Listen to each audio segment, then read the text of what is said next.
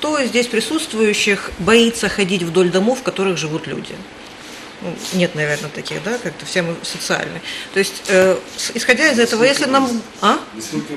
Да, ну, просто только... по улице, по двору жилому, да, ну, то есть...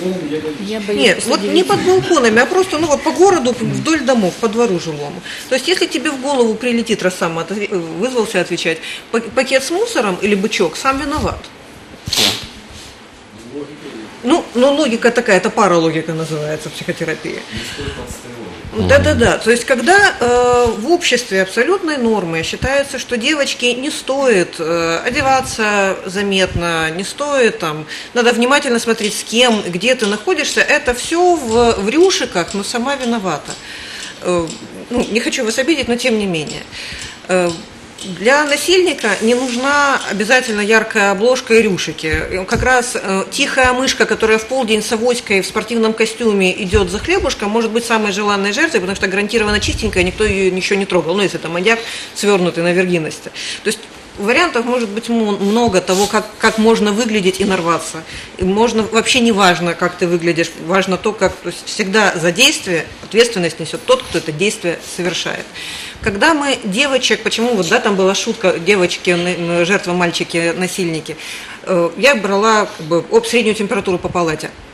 Девочек традиционно у нас все еще воспитывают, надо быть скромной, э, нельзя выносить э, ссоры из избы, приличная девушка вот так не сидит и вот об этом не разговаривает, ну и так далее, и так далее, и так далее. Когда девочка оказывается в ситуации, она не послушалась и таки пошла с мальчишками на мороженое после школы, будучи в пятом классе.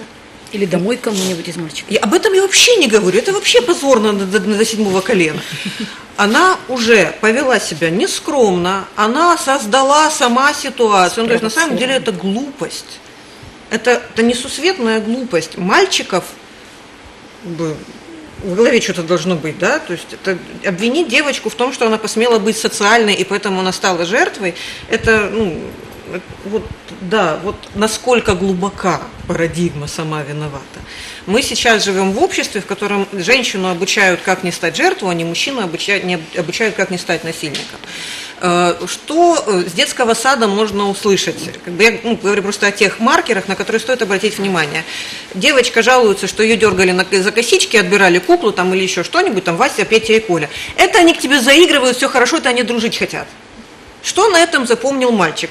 Насилие совершать нормально, ты не будешь наказан за насилие, тебя будут защищать те, кто сильнее, когда ты совершаешь насилие.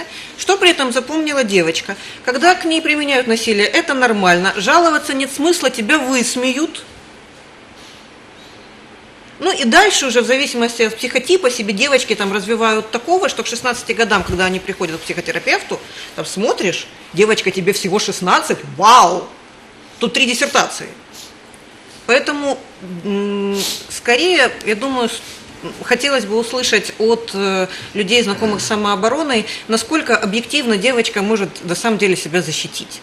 Очень у многих пап присутствует иллюзия. Я девочку отдам на там карате, айкидо, еще что-нибудь, ее научат, она оторвет все уши.